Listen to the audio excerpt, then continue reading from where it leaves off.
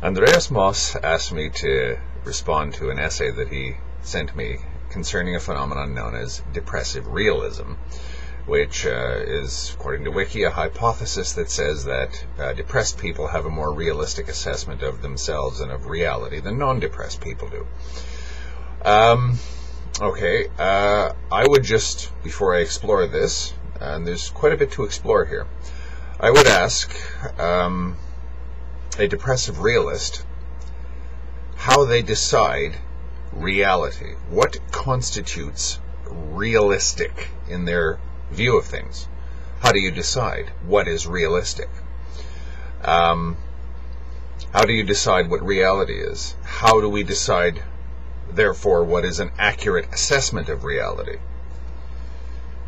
The whole idea that reality is um, graspable in that way strikes me as totalitarian. And when I say totalitarian, uh, I don't mean that in a denunciatory way. I just say that in a kind of a crazy way.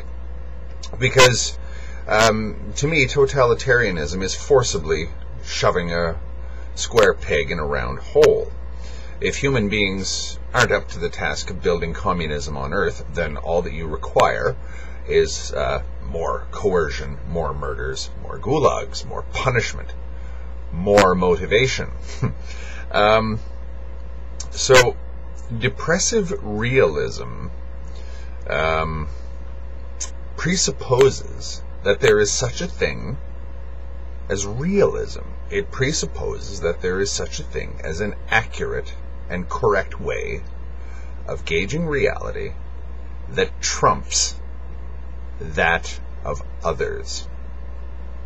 I want someone to tell me how we can arrive at that. How can I arrive at an assessment of reality that is more accurate um, and that is sufficiently accurate to say it is right and another assessment of reality is wrong?